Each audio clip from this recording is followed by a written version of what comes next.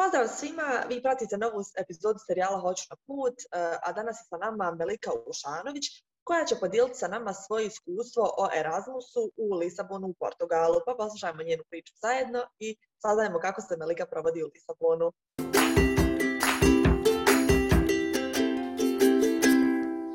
Ćao Melika, dobrodošla u naš serijal Hoću na put. Hvala ti što si pristala da gostuješ u našem serijalu i evo molim te za sami početak da nam se predstaviš, da kažeš nešto, pa, nekoliko stvari o sebi ukratko. E, pozdrav svima, pozdrav e, prije svega tebi i cijeloj ekipi organizacije Hoću.ba. Hvala na pozivu. A, moje ime je Melika Ušanović, rođena sam u malom gradu na rijeci Drini, Goraždu. Međutim, e, studiram u Mostaru, trenutno sam na drugoj godini e, fakultetu humanističkih nauka, studiram ekologiju, ali evo trenutno sam u Portugal, to jest Lisabon na e, razmjeni i da imam 20 godina.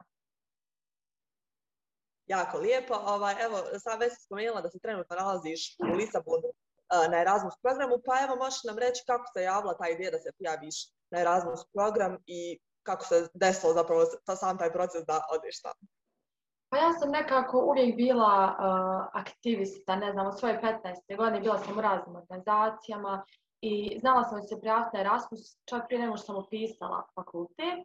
I dobro sjećam, moj prvi dan fakulteta, ja dolazim u kancelariju za međunarodne odnose i saradnju i onako mislim da odmah mogu otići negdje, međutim morala sam čekati jednu godinu i eto u septembru se prijavljam. Iskreno nisam gledala kod ću se državu prijaviti. Ja u Portugalu ništa nisam znala. Jedno sam znala da Cristiano Ronaldo dolazi iz Portugala i to to. ali ta ideja se pojavila čisto iz radoznalosti da upoznam ovaj, novi svijet, da vidim drugi obrazovni sistem, nekako da uporedim sa mladima u Bosni i Hercegovini, da naučim novi jezik, da upoznam novu kulturu, također obožavam i arhitekturu, tako da ovdje u Lisabonu, eto, to je nešto što me posebno očaralo i, i, i da preporučujem svima da se prijave na raspite. Ova, evo baš nedavno je u našem serijalu Hoć na put gostovala jedna djevojka koja je također bila u Lisabonu na Erasmusu i ona mi je rekla da je da baš joj se svidio Lisabon i ljudi zapravo i društvo e, tamo u Portugalu zato što e, su svi onako nekako otvoreni, zato što je imala priliku da upozna tu njihovu novu kulturu i da joj je baš sve bilo super. Pa evo da vidimo iz svoje perspektive kakav je Lisabon grad i možeš nam reći nešto zanimljivo. Da, naravno. A, ja sam ovdje tek neki 12 dana, tako da ne znam toliko o historiji a, Lisabona, ali iz moje perspektive Lisabon je definitivno grad u koji će se vratiti kad tad, možda čak i započeti svoj život ovdje, jer oduševljena sam svim, od arhitekture do ljudi, kao što je ta djevojka rekla, ljudi su veoma opušteni, jednostavni. Uh, ono što me posebno oduševilo jeste kako se brinu o prirodi. Ovdje ima jedan umjetnik, mislim da se zove Gabrielo, nisam sigurna, međutim on koristi reciklirane materijale da bi napravio umjetnička djela, to me posebno oduševilo. I ulice su pune uh, takvih djela, također veoma su čiste, rekla sam su ljudi jednostavni, uh, svaki dan možete vidjeti bar 30 ljudi na ulici kako trče, vodi računa o svom zdravlju, veoma su opušteni. Uh, ja sam čak prvi tri dana upoznala preko 50 ljudi i da, veoma su svi ono, open-minded što mi je trebalo i tekako.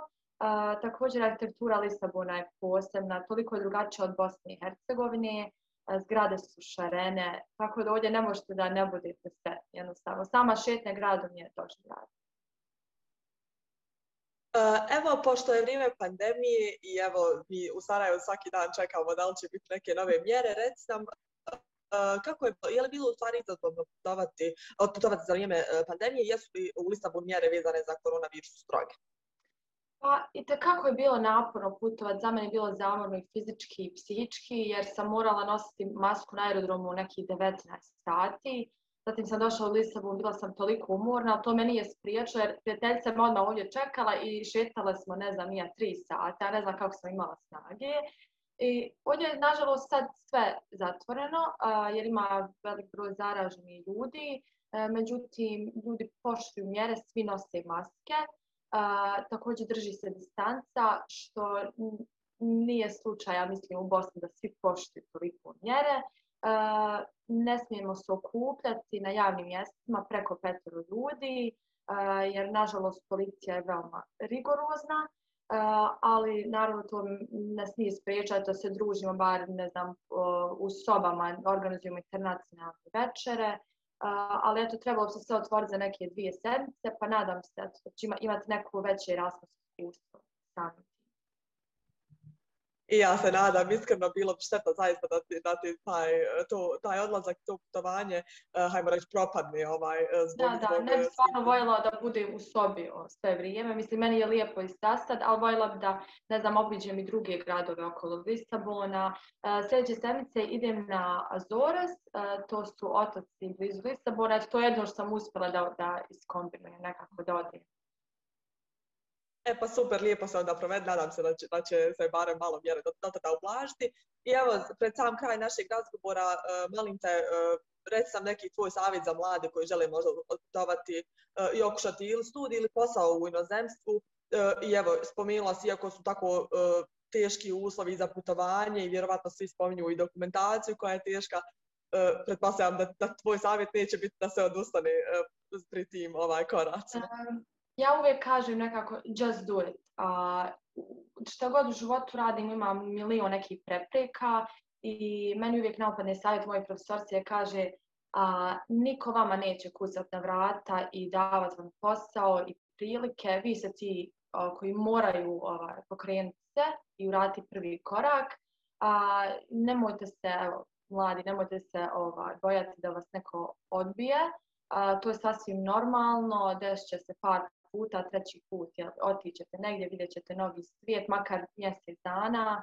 A, ne znam, nije teško toliko ako ste uporna osoba i ako dajete sve o sebe. Naravno, kao što spomenula, sva ta papirologija može da umori. Ja sam u jednom trenutku zamalo odustala jer morala sam tipa da idem u Beograd po vizu, pa sam čekala mjesec dana, ali na kraju se isplatilo. Tako da just do it. Super, hvala ti puno ovaj, Melika uh, i na tim savjetima koje si podijelila sa nama i mi svako želimo sreću uh, u nastavku i nadamo se da će ti uh, ostatak razmisa poći super i da ćeš biti hvala, puno. hvala na ovom razgovoru i pozdrav svima.